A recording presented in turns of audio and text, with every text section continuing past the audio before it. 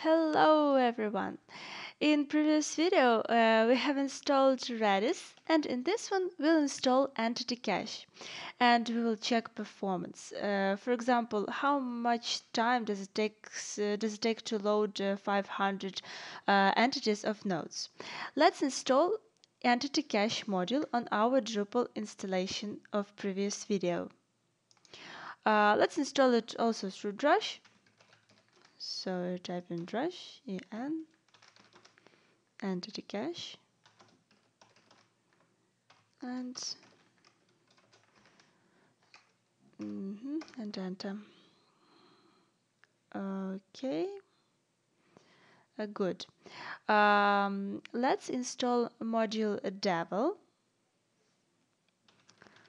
And drush and Devel to have possibility to run some PHP codes on page and also a Devel generate module.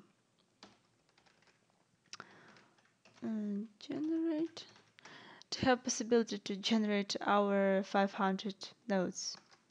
Okay, we're waiting. Great. Uh, go back uh, to our Drupal site uh, go to configuration, uh, generate content. Let's generate 500 nodes. 100 and generate. And generating. Okay, done. Uh, let's go uh, to check if our nodes are generated. Uh, here they are. Seems they are. uh, what next? Uh, we see our Redis server is started. Uh, next we have our entity cache module installed. So let's check how much time does it take to uh, load our 500 nodes. To check it we have to open Devel PHP page where we can run some PHP code. Uh, I have it saved um, wait a second. Here it is. Uh, so we have to load uh, all node IDs from database and in for each each node is loaded. Um, okay. At the end we check how much time it takes to download these uh, 500 nodes. Uh, so run it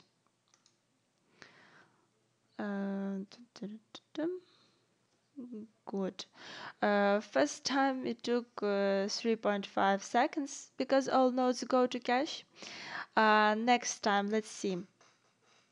Uh, they'll they'll be taken from cache and uh, it's approximately let's try again mm, 0 point something So um, let's just disable Redis and entity cache. Let's disable it also through Drush. Uh, Drush entity cache. Uh huh. Okay. And in PHP settings, let's comment uh, Redis settings. Okay. Uh, save. And what next? Let's try to start this code again. So execute. Oh, okay. Um, now we have uh, 1.9 once again. Uh-huh. So less and less. now 0 0.2.3 average. As we can see, Redis in combination with entity cache takes data from cache in three or four times faster than default Drupal. Uh, perhaps this difference will be even many times less on your servers because MySQL and InnoDB is a bit tuned on our local machine. Uh, but anyway, we see uh, great results of performance. Um, as a summary, if you have so many nodes, taxonomies, users on the site, you should start to try using this combination of modules.